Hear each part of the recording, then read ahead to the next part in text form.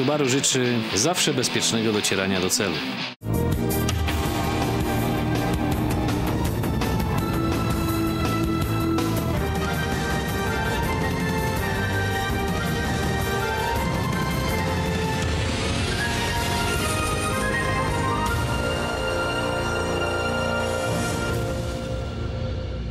Pan Bartłomiej, sympatyk naszego programu, przysłał nam wstrząsający film, który nakręcił na ulicy Broszka w Krakowie. No, ta kolizja mogła skończyć się dramatycznie.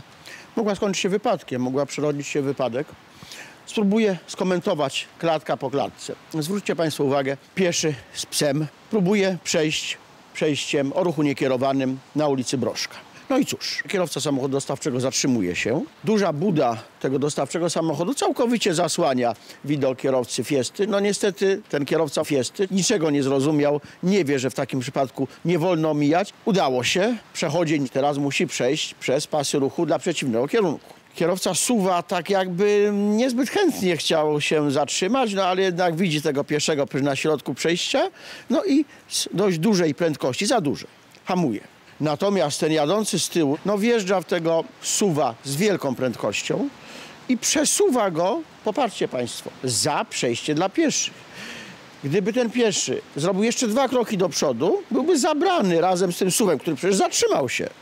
No ale co z tego? Byłby pod tym samochodem, to naprawdę było groźne. No ale tak jeździmy. Pokażemy teraz film od pana Łukasza, y, który został nakręcony na słynnym już przejściu na ulicy Armii Krajowej. No ale tutaj nasi policjanci zachowali się jak w amerykańskim filmie. Ale zanim podjęli tę akcję, to najpierw stara śpiewka. Nasz widz chce przepuścić pieszych, zwalnia. Piesi pewnie spokojnie by przez to przejście przeszli, gdyby nie rozpędzony Chrysler Voyager, tak na moje oko, który z dużą prędkością sąsiednim pasem przejeżdża. Wyprzedzanie, omijanie, tak coś na pograniczu. Zresztą pamiętajcie Państwo, że te dwa manewry splatają się ze sobą. Tego i tego oczywiście robić nie wolno. No i policjanci na motocyklach natychmiast podejmują akcję, okrążają tego sprawcę, no i pewnie czeka go sroga kara. Tylko niestety kierowcy tych przepisów nie stosują. Cieszymy się, że coraz więcej kierowców zachowuje się właściwie. Już nawet niektórzy piesi sygnalizują: O, dawniej tu stałem, stałem, stałem, a wczoraj przepuszczono mnie. I to wszystkie samochody zatrzymały, nie tylko jeden, jak pan Łukasz czy pan Bartłomiej. No ale nie znajdują naśladowców, ciągle zbyt mało naśladowców. To musi się zmienić. Pokażmy jeszcze jeden filmik od pana Daniela, no, który pokazuje, że nawet kierowcy małych i sympatycznych autek jak Matis zachowują się skandalicznie. No właśnie. Pan Daniel skręca, widzi pieszego na przejściu, widzi kolejnego, który chce wejść, zatrzymuje się. Nie ma tu żadnej różnicy prędkości, prawda? Jedzie powoli, nie ma żadnego zaskoczenia. A kierowca jadący sąsiednim pasem, ciekawym, co miał na myśli. Co ci kierowcy myślą? Czy oni w ogóle myślą? No i znowu z dużą prędkością przejeżdża. Pieszy, który wszedł, skorzystał, nagle musiał zwolnić krok, widząc tego rozpędzonego Matiza. Widział, zdążył. A jak jest gorsza widoczność? A jak są samochody dostawcze czy autobusy? A jak będzie mokro, tak jak dzisiaj, kiedy kręcimy ten program? No wypadek będzie. Tych wypadków ciągle wiele. Dlatego znowu ten temat. Dlatego znowu policjanci, tym razem na ulicy Andersa.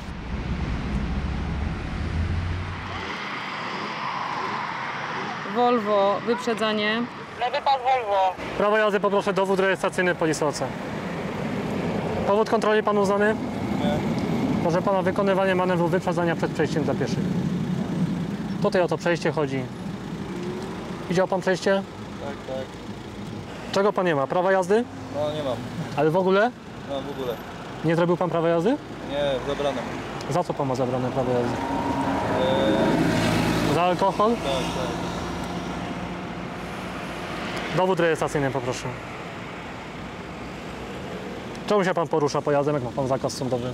Proszę pana, w tym momencie popełnia pan przestępstwo. Przegląd tak samo pojazdu się skończył w kwietniu. Ale wypadnie ten Opel. Wyprzedzanie przed przejściem dla pieszych. Mam nadzieję, że wie pan, dlaczego został pan zatrzymany. Jakaś rutynowa kontrola? Nie, proszę pana. Wykonywanie manewru wyprzedzania przed przejściem dla pieszych. Skręcałem w prawo na zakręcie w prawo, tak? I z, y, wyjechałem w lewo i nie było tu przejścia dla pieszych. Proszę pana, tu jest odcinek drogi prostej, bez skrętów. Prawo jazdy Nie, nie, tam na rondzie, ja wyprzedzałem... A ja proszę pana nie mówię panu o rondzie, tylko tutaj o tym przejściu dla pieszych, które się znajduje 300 metrów od nas. No to nie, to ja przecież przed tym rondem, przed tym przejściem wyprzedzałem. Proszę pana, to właśnie jest zabronione. Artykuł 26 ustawy Prawo ruchu drogowym ustęp 3 punkt 1. To znaczy chodzi o to, że nie zrobiłem tego na przejściu dla pieszych. Zabroniony jest na przejściu oraz bezpośrednio przed. Czy w ogóle pan nie zwrócił uwagi na to, że się pan znajduje w rejonie przejścia dla pieszych? Mandat karny 200 zł i 10 punktów karnych. Dochodzą do nas wieści, że również do wielu niebezpiecznych sytuacji związanych z wyprzedzaniem, omijaniem na przejściach dla pieszych czy z przekraczaniem prędkości dochodzi na ulicy Lema. Czy to prawda? No niestety tak. Mamy tutaj nowy asfalt, szeroką ulicę, dwa pasy ruchu w każdym kierunku. W związku z tym no wyścigi, wyścigi, od czasu do czasu wręcz wyścigi. Natomiast jeśli to jest nawet normalna jazda, to odbywa się ona tutaj stanowczo zbyt szybko. Tutaj nie ma podniesienia dopuszczalnej prędkości, czyli jest 50 na godzinę, a jeździmy tutaj 80, 90. No i pani z wózkiem obawiam się, że będzie tutaj bardzo długo stała. Są dwa przejścia o ruchu niekierowanym. Na razie nie ma tutaj włączonych świateł, nie ma takiej potrzeby w tym momencie. No i dochodzi do wyprzedzania, właściwie regularnie wyprzedzania bezpośrednio przed czy na przejściu dla pieszych. Są również przypadki, że jeden z pojazdów zatrzymuje się, żeby tych pieszych przepuścić, pozwolić im przejść przez przejście dla pieszych, a inny pojazd jedzie jakby nigdy nic. O, popatrzcie Państwo, tutaj właśnie taka sytuacja. Tutaj nasza kamera pokazała znowu mrożącą krew w żyłach sytuację, w której samochód próbował się zatrzymać i uczynił to już na przejściu dla pieszych.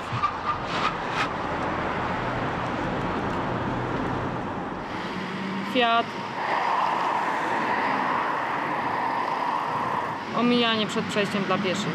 Powód spotkania naszego pani kierowco omijanie pojazdu, który się zatrzymał w celu przepuszczenia i ustąpienia pierwszeństwa pieszych.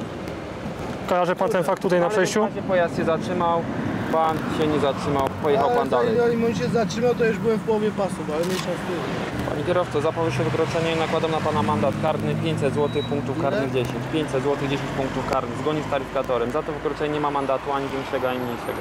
500 zł. 500 zł, 10 punktów karnych. Jest to jedno z najbardziej poważnych wykroczeń w ruchu drogowym. Renault. Omijanie przed przejściem dla pieszych. Pojazd na prawym pasie zatrzymał, na lewym pasie pan ominął pojazd. Wie No, pan, zgadza się, zdaję sobie sprawę. 26 Dlaczego się pan nie zatrzymał? Właściwie to się, przykro mi się przyznać, ale właściwie to się zagapiłem. Także to nie było zbyt, zbyt mądre. Widziałem z daleka, mogłem hamować, ale już widziałem, Czy powinien pan hamować? Powinienem, ale już się po prostu, no już widziałem, że kobieta stoi. No może starych kierowców nam się nie uda wyedukować, ale być może młodzi kierowcy za kilka lat już będą wiedzieć, jak się zachować na przejściu dla pieszych. Na przykład dzieci z Mikluszowic, które brały udział w turnieju motoryzacyjnym. No ale ty wśród dzieci z Mikluszowic jesteś jak gwiazda rocka. No widać entuzjazm tych dzieci. Strasznie nas cieszyło to, jak byliśmy tam z kamerą.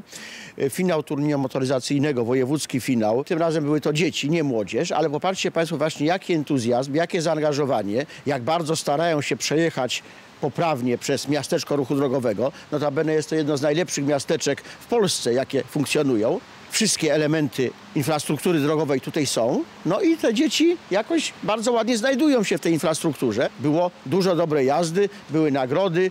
Liczymy, że czym skorupka za młodu nasiąknie, że będzie normalnie, wreszcie normalnie. Czyli jak dzieci z Mikluszowic wsiądą za kilka, kilkanaście lat za kierownicę, wreszcie będzie bezpiecznie. To nie tylko dzieci z Mikluszowic, warto tutaj dodać, że były to wojewódzkie finały. W związku z tym najlepsze szkoły z województwa startowały tutaj o palmę pierwszeństwa. Ale wróćmy jeszcze na moment do naszego pierwszego filmu od pana Bartłomieja. Być może, gdyby kierowca, nieszczęsny kierowca Focusa jechał takim samochodem, no to nie doszłoby do tej kolizji, bo podobno ten samochód sam hamuje. Tak, Subaru stawia na bezpieczeństwo od wielu, wielu lat. Ten samochód ma wiele aktywnych systemów bezpieczeństwa.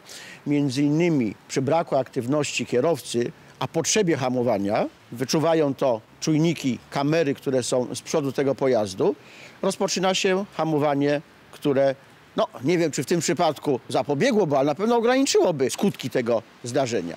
O tym, czy ten samochód faktycznie sam hamuje, przekonacie się Państwo w następnym odcinku. Ja zamienię się w kierowcę testowego, no i mam nadzieję, że to prawda, ponieważ być może będziemy jechać prosto w mur. No a jak to się skończy, zobaczą Państwo w następnym odcinku naszego programu. Zapraszam.